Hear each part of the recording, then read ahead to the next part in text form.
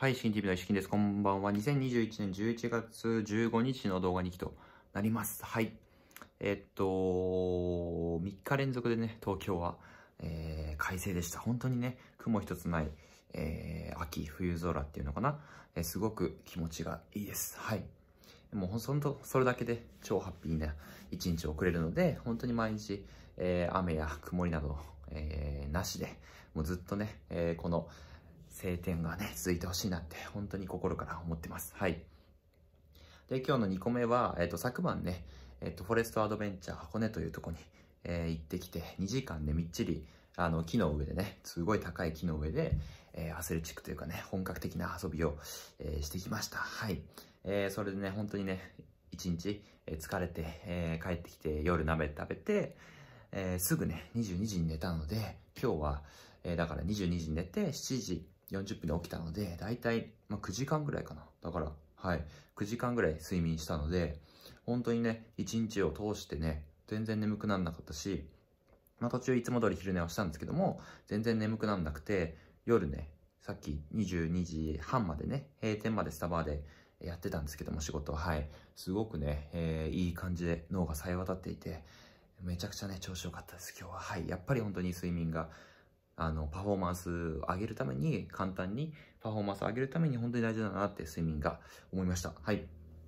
で、3つ目はですね、えっと、今日、まあ、午前中かな、えー、主に午前中に、えっと、本をね、持ってって、えっと、まあちょっと休憩がてら、ちょこちょこ読んでたんですけども、あの、読んでた本がそのサウナの、医者が教えるサウナの教科書っていうね、えー、本でして、前も何回か紹介したんですけども、あのー、まあ、正しいね、医学的に正しいサウナの入り方を、あの、結構ね、しっかりね、レクチャーしてくれるっていう素晴らしい本があるんですね。はい。それでね、僕はその一回さらっとね、本当に、なんだろう、入り方、正しい入り方が、えー、3、3と、3通りというか3ステップあるんですけども、それを、まあ、学んで実践して、まあ、それでね、あのー、最近は全然読み返したりはしてなくてですね、なんか今日、ちょっと読み返したくなって、新しい発見とかあるかなと思って、えー、読み返したらですね、結構ね、新しい発見が、えー、予想通りありまして、えっと、まあ、1個目としては、えっと、まあ、サウナ活動です。まあ、3セットから4セット行うのがいいとね、されてるんですね。はい。えっと、サウナ室入って、温まって、水風呂入って、冷やして、で、最後外気浴ってね、えっと、整いタイム2、3分みたいなのあるんですけども、そのね、僕はその水風呂を、あの、まあ、基本は1分間、えー、大体1分間入るっていう感じが、えっ、ー、と、セオリーなんですね。で、それでその、今回新しい発見としては、最終セット、えー、最終セットは、例えば3回やるとしたら、1、2回は、1、2回目の水風呂は普通に1分入っていいけど、えっ、ー、と、最後の3週、3、最終セット、だから3回目ですね。3回目の水風呂は、えっ、と、1分入らなくて、えー、逆にね、えっ、と、10秒くらいぴゃって入って、すぐ出て、えっ、と、冷たいシャワーを、え浴びて、えそれでね、え OK って書いてあって、そっちの方が、えっ、と、逆にね、いいよっていうことが書いてあったので、ちょっと次回からね、え明日行くかもしれないですけども、次回のサウナからちょっと実践していきたいなと思います。そしてより良いね、サウナ活動ができるようになればいいかなと思います。はい。で、えっと、まあ、改めてね、えー、学び直してですね、またさらに正しいサウナの入り方に近づけ、えー、れたんですけども、えー、もう一個ですね、えっと、発見があってですね、えっと、まあ、僕実はその、あの、ここ1年ぐらいで、まあ、1、2年かな、1、2年ぐらいで、えー、食生活をね、見直したりとかして、えー、なんとね、10キロぐらいね、えー、72キロから62キロぐらいまで、え、減量っていうかね、勝手にしたんですね。10キロぐらい痩せたんですね。え、それがですね、僕はその、まあ、えっと、朝、昼晩の、まあ、食生活を見直したことによる、結果だと思ったんですけども、思ってたんですけど、それももちろんあると思うんですけども、今回ちょっとサウナの教科書を読み返してみて、え、まあ、ある章で、あの、サウナに入る、しっかり入っていると、痩せ体質になるという項目がありまして、そこを読んでいて、あ、これが実は、この10キロ、えー、減量できた、えー、勝手に減量できた一番のね、要因なんじゃないかなって今日読み返してて思いました。はい。で、まあ、簡単に言うと、あのー、僕も前の動画でな、結構前の動画でなんか、プチ断食的な、えー、ファスティングじゃないんですけども、なんて言うんだろう。うん、オートファジー機能みたいな、そういうのが、えー、断食を16時間から18時間ぐらいかな、確か、やると、えー、その、脂肪、えっ、ー、と、エネルギーを、えー、なんだっけな、脂肪からエネルギーを取る的な感じでしたっけ？ちょっと今日読んだばっかりなんですけど忘れちゃいましたけども、そんな感じで、えっ、ー、と、なんかその、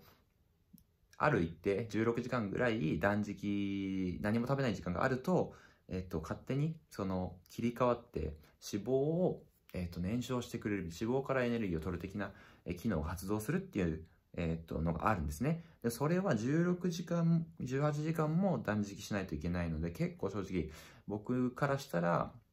えっと、食べるのが好きな僕からしたらちょっと現実的ではないっていう感じの、え我慢できないって感じなんですけども、今日読んで、サウナの教科書改めて読んでて、その野生体質になるっていう項目に書いてあったことがすごく衝撃的で、その16時間とか18時間何も食べないで、えー、やらなきゃいけない、やらやらないと発動しない、えー、機能、えーと、体内の機能が、なんとそのサウナに入ることで、えー、同じようなね、えー、全く同じかちょっとわかんないですけども、同じような効果が発動して、えっと、脂肪がね、燃焼されるという感じのことが書いてあって、えー、そうなんだと思って、えー、じゃあその別になんかね、苦しい思いして断食する必要ないなと思って、それがね、多分その脂肪が勝手に燃焼されてる、される仕組みになって体がどんどん痩せていったんだなと思うと、すごくね、えー、本当にびっくりして、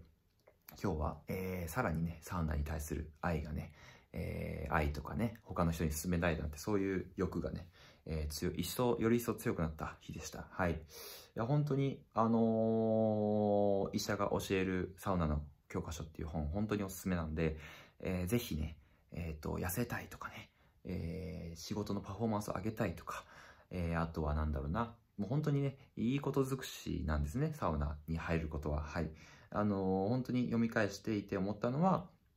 あの、努力とかね、勉強とか、努力とかね、えー、才能とかもサウナ活動は全く必要ないので、ただ、ちゃんとした方法でサウナに入れば痩せるし、痩せ体質になるし、お肌もね、ちょっと今 荒れてるんですけども、お肌も、えー、綺麗になりますし、美容にも効果がありますし、あの、パフォーマンスも脳のね、脳疲労が取れて、えー、仕事のパフォーマンスも、えー、上がりますし、もういいこと尽くしで、えー、気持ちもね、えー、うつ状態にもならないし、本当に、あとは癌とかね、そういうアルツハイマーとか認知症にも、えー、もうね、かかりにくくなるっていうね、本当にいいことしかないので、えー、本当にね、サウナ入る回数が増えれば増えるほど、そういう効果が見込めると書いてあったんで、本当に、えっ、ー、と、早ければ早い方がいいので、ぜひ、サウナ活動ね、サウナ、ぜひ、本当に、あの、人生変わるので、本当にいい子、いい方向に変わるので、ぜひ、あの、興味ある方は、もう早速、ね、今週末とかからもやってみてほしいです。はい。そういうことで、えー、ちょっと長々とサウナのことを話したんですけども、まあ、最後に一個だけ、えー、っと、今日ね、えー、すごく仲良くしている、え、友達、え、仲間ですね、え、が新しい何何かしらのちょっと挑戦をね、ワクワクするような挑戦を、え、始める、来月かな、多分、来月から始めるみたいなことをね、え、LINE のグループで、え、言って、えー、報告してくれて、めちゃくちゃね、テンションが上がりました。本当になんか身近な友達仲間が、なんかそういうワクワクするような新しい体験をね、体験というか挑戦を始めようとしているっていう、えー、その事実にすごく、えー、胸がね、えー、踊るというかね、えー、なんか元気ね、逆にこっちが元気もらったというかね、それでその彼はね、本当に、えっ、と、そういう僕たちに還元するっていう、還元したいっていう感じの、え、友達なんで、もう一緒にね、それも、一緒になって、その彼の挑戦もね、え、やっていけたらなと、え、一緒にね、頑張っていけたらなと思いまして、本当に、え、また一個未来の、え、楽しみが増えて、本当にありがとうございますっていう感じです。そういうことで、えー、楽しかったです、今日も。はい。まあ、あとはちょっと新しいウェブサイトの制作の案件がね、えー、ついに今日から始まったので、ちょっと結構、結構ね、えー、頑張らないとこれは終わんないなっていう感じなので、えー、明日からももう少しね、しっかりスケジュール立てて頑張っていきたいと、手を動かして頑張りたいと思います。ということで、今日もありがとうございました。バイバイ。